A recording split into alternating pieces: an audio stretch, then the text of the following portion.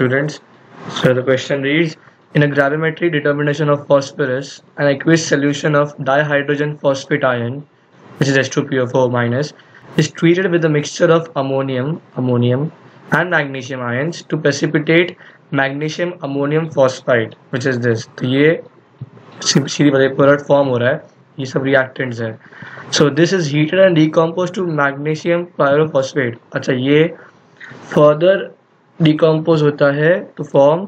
magnesium pyrophosphate which is weighed so solution of H two P F O minus yielded one point zero five four grams of M G two P two O seven so what weight of N H two P F O was present originally okay this question is lengthy but this is simple जो जो दिया है, उसको चुपचाप follow कीजिए। जैसे अभी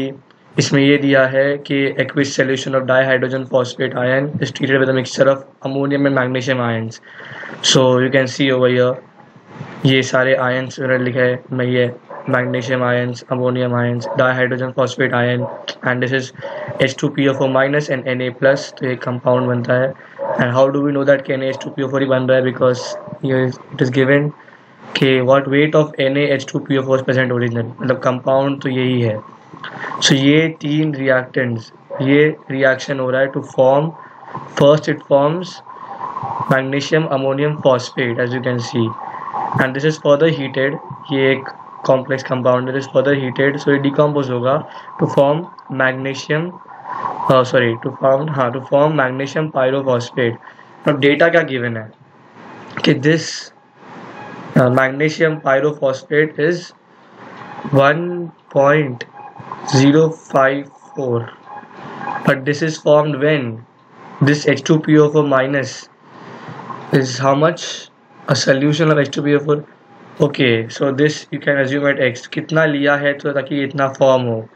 so that is our uh, main aim to find in the solution so here again we use uh, POAC so you can take check these compounds ये give ये और ये compound में common क्या है so phosphorus is common oxygen is common so any of the two you can take so let us take p here they have taken p so POAC means the atoms always get conserved so since p atoms are conserved applying POAC for p atoms moles of p in NaH2PO4 moles of p in this compound is same as moles of p in Mg2P2O7 so here 1 into moles of NaH2PO4 is equal to 2 into moles of Mg2P2O7 ये 1 and 2 कैसे आया so you can see the chemical formula of this compound NaH2PO4 अगर आप NaH2PO4 का एक मोल लेते हो तो उसके अंदर कितने मोल P एटम्स है one mole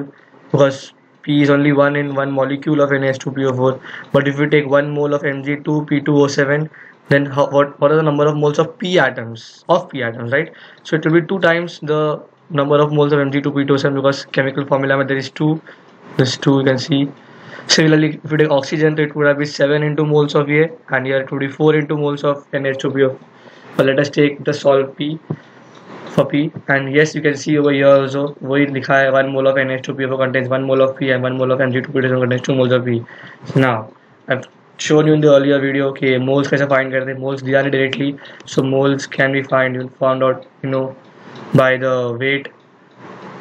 weight जो given weight है upon the molar weight and for gases for gases at N T P एक ये भी होता है वॉल्यूम जो ऑक्यूपाई होता है अपॉन बोलार वॉल्यूम अब वो एवोगैड्रोस लॉ के one mole occupies twenty two point four litres पर ये अभी फ़िलहाल भूल जाओ because there this are not gases so yes there it is so this is one into one neglect किया ठीक है। One into weight of N H two P O four upon molecular weight of N H two P O four is equal to two into weight of M G P two O seven upon molecular weight of M G two P two O seven so this entire thing is moles this is also moles so वही है. Convert किया है. Now we have to find what to find weight of N H two P O four so yes this we have to find the other things like molecular weight molecular weight can be always found out just apply simple maths so here they are not given the atomic weights of magnesium phosphor and oxygen but don't worry questions pe diya rahega just need to calculate so this will be given molecular weight this will be given even this will be given so which and all this also is given this is a main thing given weight of mg2p27 is 1 1.054 grams so ये यहाँ पे आप यहाँ पे substitute करो so there's only one variable so we can easily find out using cross multiplication. So finally the answer comes out to be 1.14 grams. So i hope you guys understood. So thanks for watching the video